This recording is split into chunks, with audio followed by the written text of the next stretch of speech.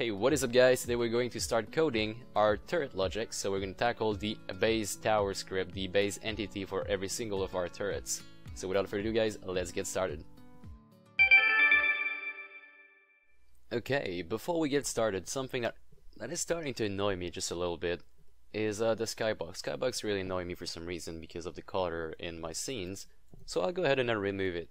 Um, I'll go in the Window, then Lighting, and in there where it says default skybox, I'm actually just going to go ahead and select none. Uh, you can change it if you want, but I'll just use none. Okay, now that this is done, um, there's another thing that annoys me a lot actually that I'm going to fix.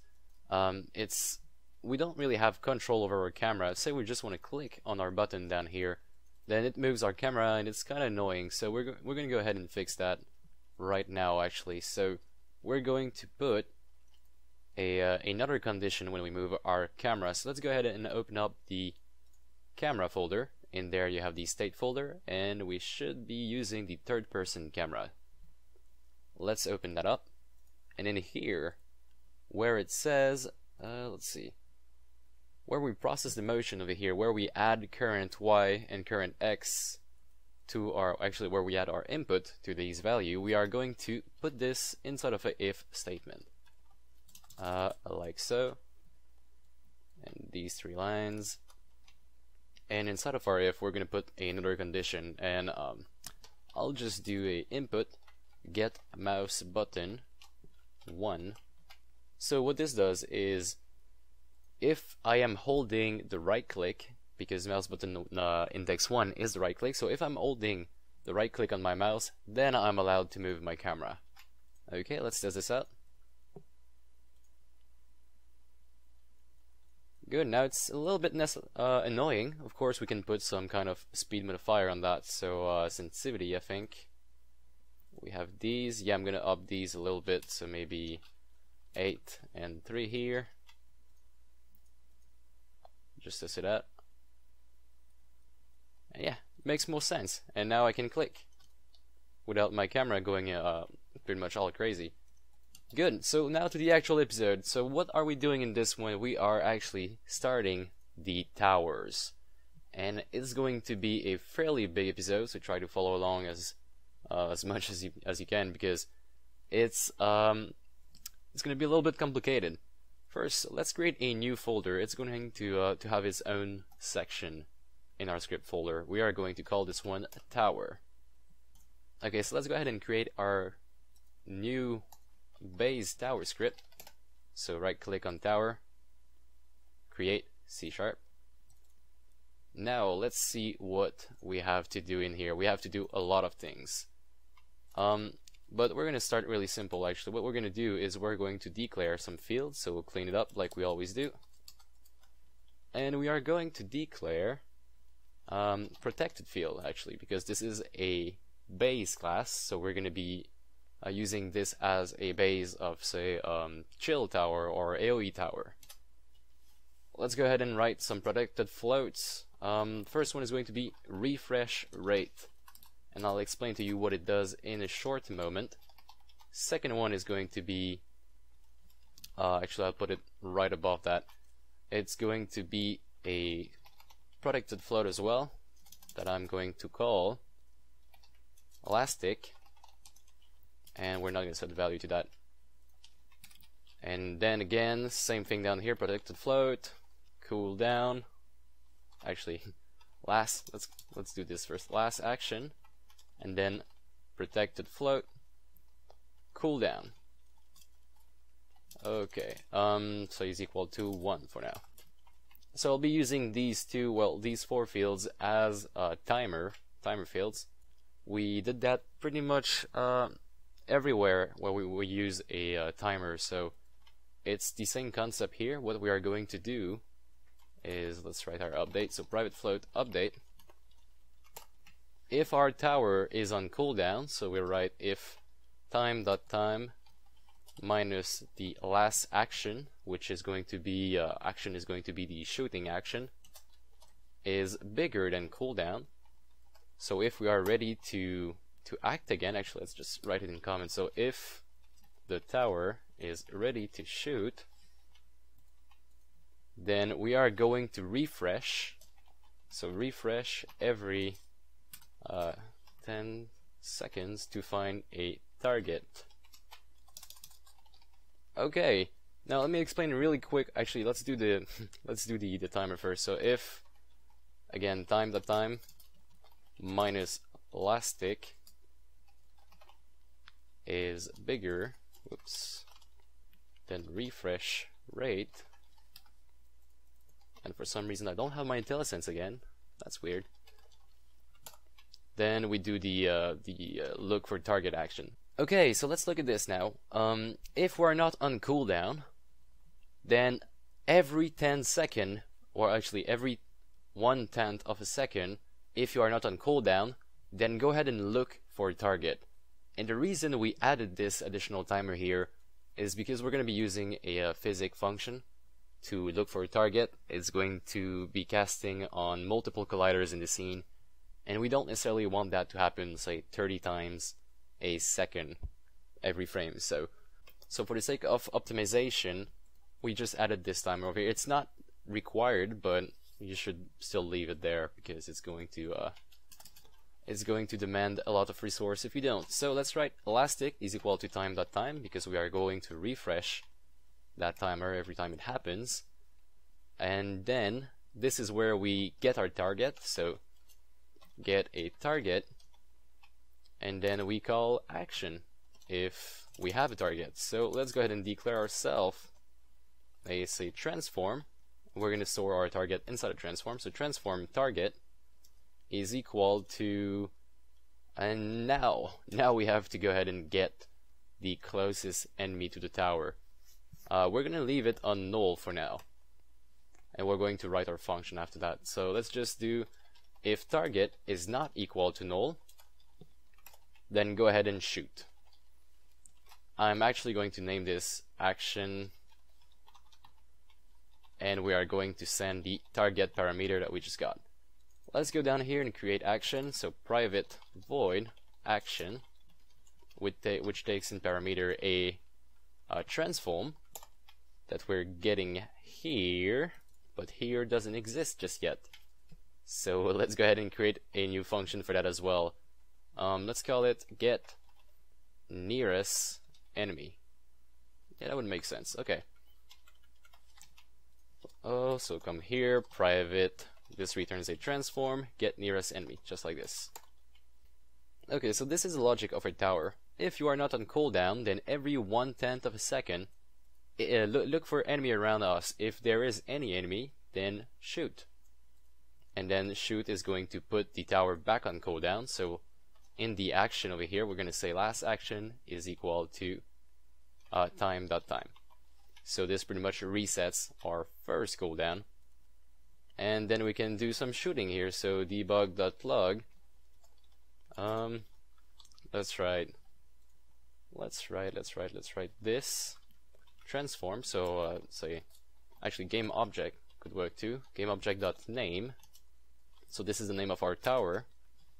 Plus is shooting at and then plus uh, oh action.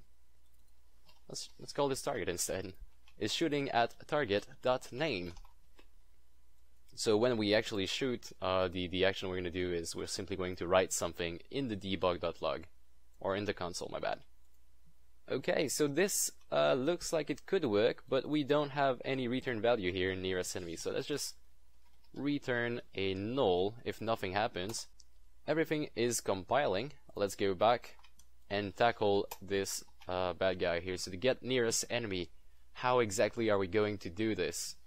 Let's do uh, some bit of comment here. Test if there are any enemies. So if there are um, just enemy enemies within our range, let's add a range parameter as well. So let's go up here, protected, float, range, we're gonna say uh, 5 for now. These values are all going to be overridden a little bit later on, of course. Okay, now to test this, we are going to do collider array that we're going to call all enemies is equal to physics dot overlap spheres, which returns a uh, collider array. So that's why we we got this uh, specific type, and then it asks us for the position of our sphere and also the radius. So this is the same function we use for the melee attack spell. It pretty much casts a sphere collider on our player, well, any position that you give it, and then it's going to get every single collider that is inside of that. So um, imagine yourself that every one tenth of a second, this sphere is being called on your turret, and it looks for everything in a certain radius. So uh, in this case, we are using the transform dot position, so the position of the turret, using the range um, radius, and we also have an additional parameter that I'm going to put the layer mask uh, so we don't cast against say the floor and this function is not going to return the floor object to us. So we need to specify which layer we're testing against. And in our case it's going to be the layer mask dot um, get mask and get mask that we called enemy just like this. Oops enemy okay.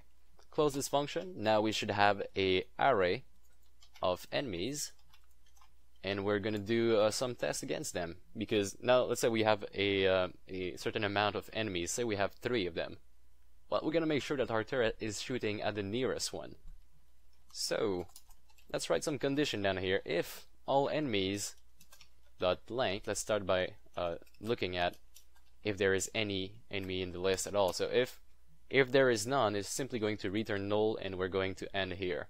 Now, if there is more than one enemy, then we're going to do int closest index is equal to 0 and also float nearest distance is equal to and now we're going to do vector 3 square magnitude because it's uh, really optimal and we are going to do uh, the distance in between transform.position and all enemies at the first index dot transform that position.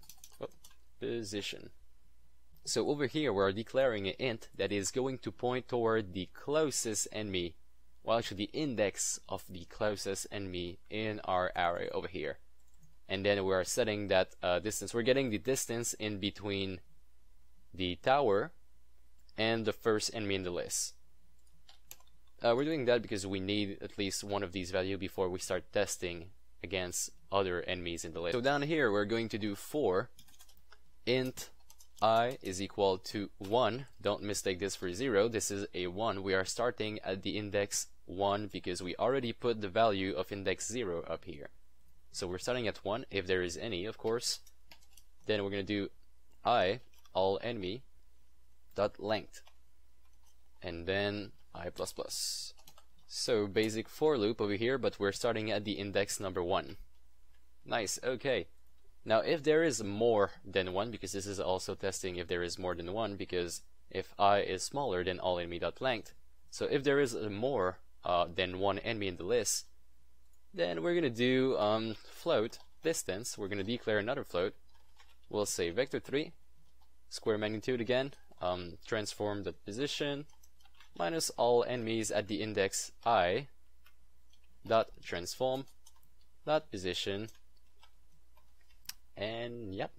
So this is returning the square distance in between the enemy uh, at the index i and the tower. So now we do if that distance so if distance is smaller than the nearest distance then let's do nearest distance is equal to distance and also closest index is now equal to i. Okay, so with this code over here, we should get the closest index pointing toward the closest enemy in our array.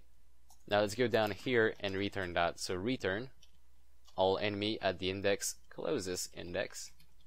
And we are uh, returning a transform, so return the dot transform.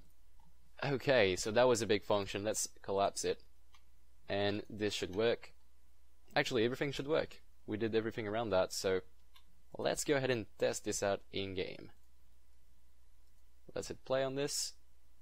Oh, actually, you gotta put the, uh, the script on the turret, of course. So, drag and drop the base tower on this tower. We're gonna remove it later on because base tower is a well, it should be a abstract class, so you can't instantiate one of these by itself. You need to have some kind of uh, parent. Okay, let's press K on this, and if we look down here, tower is shooting at enemy clone. So we're shooting. Um, of course, it, this doesn't really look obvious. Let's put a raycast, not a raycast, but a debug.drawRay so we see in which direction he's shooting at least. So debug.drawRay, and now it's taking a start in a direction. Let's put the start is going to be the uh, transformed position, so the position of the turret, and the direction is going to be uh, target, so the enemy dot position, so the position of the enemy minus the position of the turret, which is going to give us a directional ray. And after that, let's give it a nice red, bright red color, and a duration so we have the time to see it. Oops. Don't forget your semicolon, and then it should look like this. Okay. Let's go back in game. Hopefully we can see something now. I'm gonna press play on this.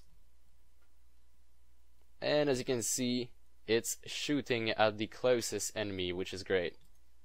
Let's put additional turrets so we see the behavior of multiple of these.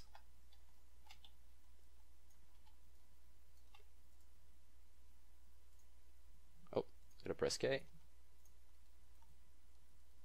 Nice. So we're starting something here. We're, we're starting to get something. Of course, we're not shooting anything just yet, but it's it's there and it's targeting the right enemy. Alright guys, so that's going to be it for this episode. We covered a lot of thing, and we are going to cover a lot more because this is going to be a, quite a complicated um, system. And yeah, alright guys, so if you enjoyed this, please leave it a like. If you learned something, same thing, please leave it a like. If you have any question or comment, please look at the comment section below. Also subscribe for more tutorials. Thanks for watching and I'll see you next time.